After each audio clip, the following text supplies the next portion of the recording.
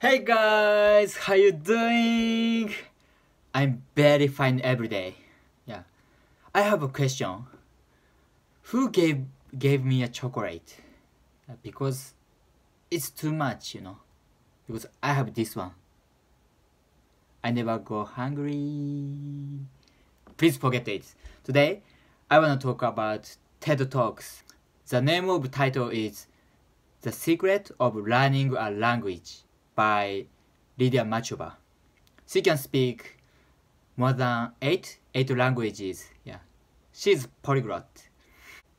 I guess uh, a lot of people have more free time to do something lately, so it's time to enjoy language. Hopefully, Japanese. I could be the funniest Japanese teacher in the world.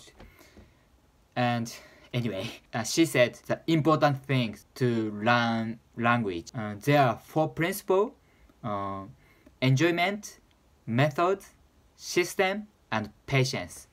And she also said uh, we simply found how to enjoy the language learning process. If you enjoy the process of what you are doing, you can keep you can keep doing it easily. And then finally, and you can make it. As to me, I really like singing other languages' songs. Like this.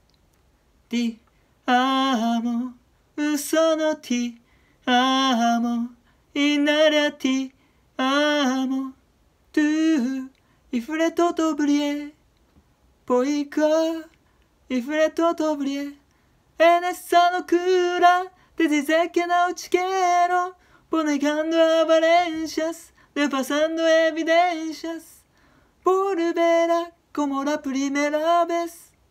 Dejará que vuelva. Ella conoce solita camino conmigo. This is enjoyment.